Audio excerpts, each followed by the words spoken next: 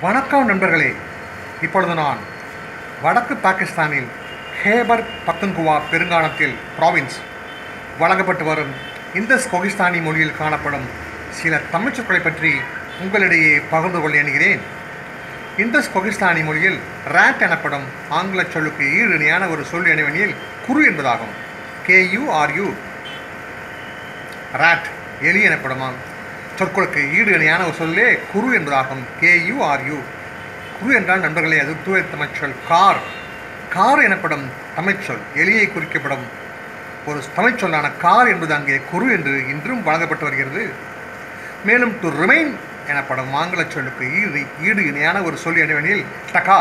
DA KH HO டக்கா நண்பர்களே டக்கா எனப்படும் சொல்லானது தங்கு எனப்படும் ஒரு தூய தமிழ்ச்சொன்றர்களே அவ்வாறு படிக்கையில் நான் டக்கா என்ற சொல்லோடு இடையில் இன் என்ற எழுத்தை சுருகி படிக்கிறேன் தங்குக டக்கா டிஏ கேஹெச் ஹெச்ஓ தங்குக. தமிழ்ச்சொற்களில் இன் அல்லது இம் என்ற எழுத்துக்கள் காணப்பட்டால் அவை மிக்கவாறும் பிற மொழிச்சொற்களில் விடுபட்டு போயிருக்கும். அந்த சூத்திரத்தினுடைய அடிப்படையில் டக்கா என்ற சொல்லை நாம் தங்குக என்றே படிக்க வேண்டும். டு ரிமைன் எனப்படும் பொருளில்.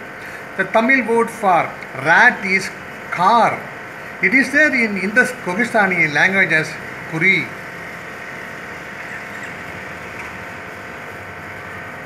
the Tamil word for to remain is தங்குக it is there in இந்த கொகிஸ்தானி லாங்குவேஜஸ் டக்குக தேங்க்யூ ஃப்ரெண்ட்ஸ் நன்றி நண்பர்களே. நாம் மீண்டும் சந்திப்போம். வணக்கம்.